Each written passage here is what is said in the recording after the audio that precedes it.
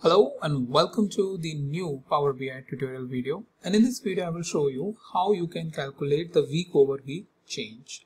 And with that I realized that I have not changed this.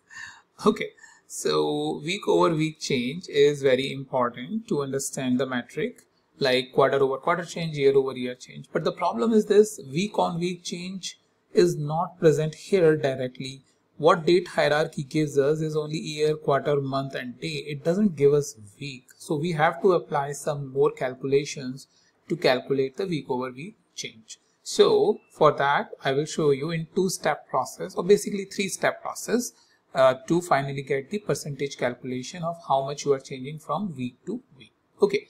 Before that, if you have landed very first time on my channel, then let me show you one thing which you should be aware of about this Google Sheet for which the link is present in the description. An idea behind this is that all of my published videos are present over here. That means you can come here, search any of my videos very easily related to Power BI and then using the link that is provided in column B, you can jump onto that video. So make sure you save it, bookmark it and use it whenever you need it. Alright, let's go back to Power BI. Okay, so over here we have this. Now we don't have week, which is which we need from as part of hierarchy. So what do we do? We come over here in this data and we click on the new column. Using the week num function, we will going to create the week. So week equals to week num, right? And in the week num, what we will going to do is specify the order date, date, right? Comma 1 or 2 I think 1 indicates that uh, week is starting on Sunday or 2 indicates on Monday. But make sure you you uh, if this is a specific requirement for you that week should start from Sunday or Monday then make sure you check the documentation. I'll go with the one which is a default option. Okay? So what do we have? Why it is giving you an error? Uh, week parameter is of not correct type. Okay I am choosing only the one which you are giving me. But anyways it is giving me the correct output which is present here. Alright? Now once we have this we can go back here and then start producing our calculation. So our calculation is basically like if I show you this is my week. And if I put this week over here you can see you know all of these uh, different weeks 1 2 3 4 5 6 all the way till like whatever 53 weeks that you are having. Usually 52 or 53 weeks. So in week 1 you have 10 order. Week 2 you have 6 order. Week 3 you have 4 orders so on and so forth. And we want to see from week to week if a change is happening and what is the percentage of that change. So this gives us basically the week the latest week change.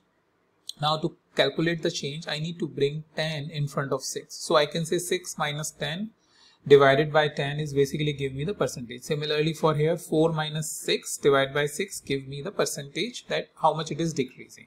Or 5 and 9, 9 minus 5 divided by 5 will give me the positive percentages. So for that iterative calculation I need to create a new measure which is basically for the last week. So I will create a calculation for last week which is basically your calculate function and distinct count of order IDs. Now in this case where retail is present, you are I'm having order. If you are let's say analyzing IT data, you may have incident IDs or so and so forth information. Idea is that we want to uh, we want to basically analyze the week over week change. And when in the filter we are saying week equals to whatever is the latest week, max week, right, minus 1 and then we close this. So if it is week 3, week 2. For week 1, there will be nothing because this is where the week is starting from week 6 to week 5. So if I just press this, it will give me the last week information which is present here and I can bring it over here which will give me in front of 6 10 6 value is coming here 4 value is coming here 5 value is coming here so it becomes an iterative process with the help of this calculation with that, I can calculate the percentage between these two. So 6 minus 10 divided by 10 will give me that negative percentage as how much decline in the growth I'm having week over week.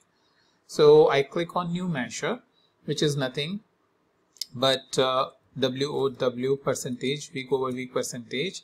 So we use the divide function and the numerator is our um, so we have uh, we have the numerator which is uh, distinct count sorry. Distinct count of order id right? Uh, comma denominator sorry minus the previous week or the last week right? Comma de denominator is the last week. Okay this is usually your change percentage calculation.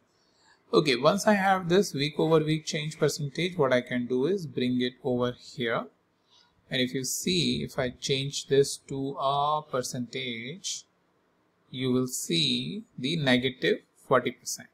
From 4 to 5 positive 25 percent. 5 to 9 positive 80 percent. 9 to 12 positive 33 percent. 12 to 6 negative 50 percent.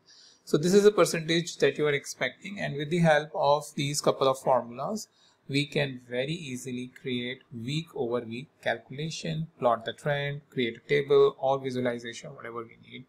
With that, thank you so much for watching and I'll meet you in the next, next video with a new topic.